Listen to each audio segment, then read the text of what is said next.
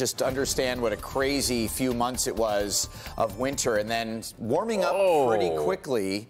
Take a look at these stunning images. This is Lake Michigan, taken uh, in South Haven on the southwest side of our state.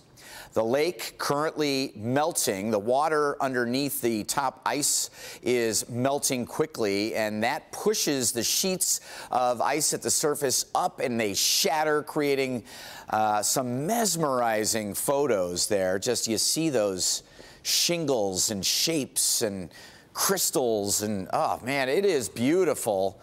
Not going to last a whole lot longer.